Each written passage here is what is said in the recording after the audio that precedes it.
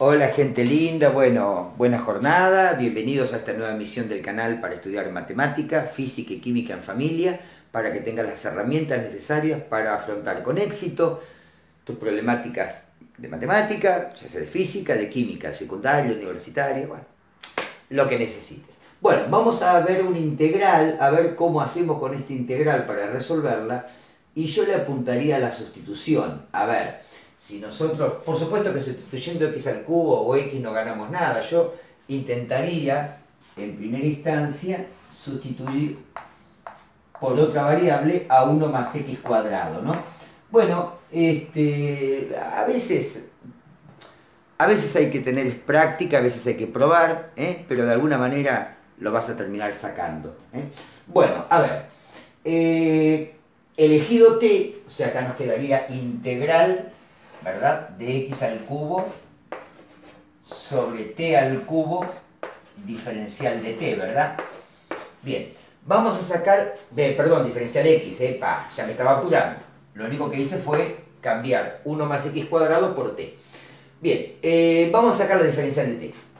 La diferencial de t sería la derivada, que sería la derivada de 1 es 0, la de x cuadrado es 2x, multiplicado diferencial x. Con lo cual, diferencial de t sobre 2x no es ni más ni menos que diferencial x. Bien, podemos venir aquí entonces y colocar integral de x cubo sobre t cubo y en lugar de diferencial x vamos a colocar diferencial de t sobre 2x.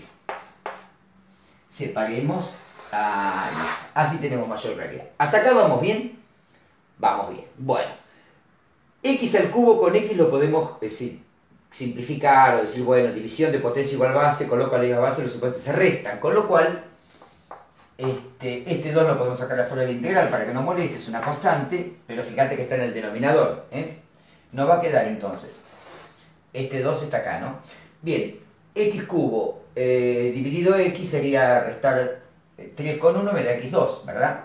x2 sobre t cubo diferencial t. Ahí vamos bien, ¿no? Está todo, el 2 está fuera de la integral, esta cuenta está hecha con x cuadrado y este cubo sigue ahí a la expectativa. Bien, x cuadrado tenemos el problema, porque o trabajamos con x o trabajamos con t, con las dos no podemos, pero acá está la clave. ¿eh? Fíjense que de ahí se puede ver claramente que t menos 1 es x cuadrado, ¿verdad? Entonces, aquí en lugar de poner x cuadrado vamos a colocar t menos 1.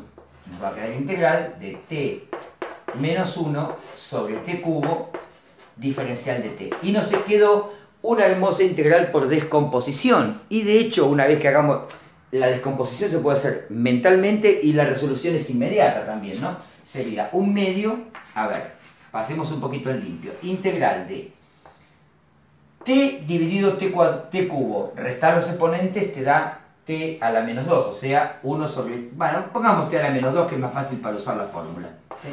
Bueno, 1 eh, restado 3 me da eh, menos 2. Y después menos 1 sobre t cubo. ¿eh? O sea que t a la 0 restado 3 me da t a la menos 3. Ahí estamos.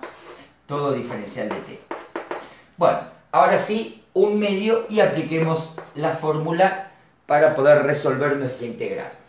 Eh, a menos 2 le sumo 1, me da menos 1. O sea que acá me queda t a la menos 1 sobre menos 1. Bien, el 1 medio multiplica todo. Menos. Acá le sumo 1 a menos 3, me da menos 2. t a la menos 2 sobre menos 2. Bien, sigamos pasando en limpio. Acá podemos borrar un cachito esta línea y, seguir avanzando para aquel lado. ¿eh? A ver cómo nos quedaría un medio por. Acá.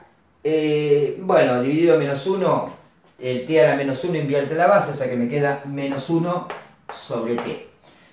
Menos con menos acá me da más, más, más. Un medio, acá está el 2, y t como está la menos 2, vamos a ponerlo t a la 2 en el denominador. Todo esto más constante, vino que cuando sea la integral este, bueno, acá no lo puse, pero no se olviden, como me olvidé yo, ponerle más constante. Bien, eh, ¿qué nos queda? nos queda reemplazar la t por, ¿quién era? 1 más x cuadrado, ¿verdad? O sea que nos quedó un medio por menos 1 sobre 1 más x cuadrado más 1 sobre 2 por 1 más x cuadrado a la 2. Cierro corchete todo esto más constante y quedó la integral resuelta. Bueno, cualquier duda, pregunta consulta me la hacen llegar al Facebook, ¿eh? que es MFQ Ricardo y a la brevedad te la voy a contestar así te sacas todas las dudas. Si te gustó el video, suscríbete al canal ¿eh? y me podrás pedir los videos que necesites. Nos vemos en la próxima. Chau, chau.